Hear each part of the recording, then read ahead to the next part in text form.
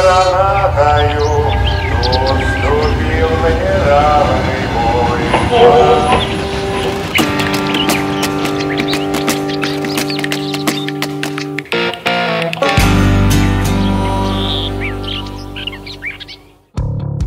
Внимание! Подтверждается информация об отношении во Львове к русскоязычным людям. На днях подвергли казням и пыткам двух девушек из Луганска. Вы смотрите уникальное видео.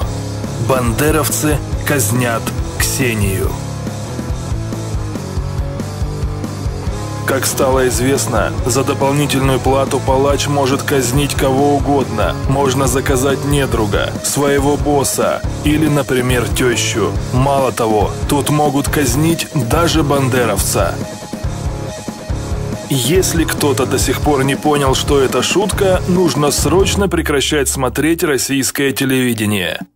А эти казни – не что иное, как веселые розыгрыши в концептуальном львовском ресторане. Ксенией же называют огромную и очень вкусную колбасу, которую казнят каждый день, ровно в 9 часов вечера. Кстати, луганчанок отпустили только после того, как они, к удивлению всего заведения, исполнили гимн Украины.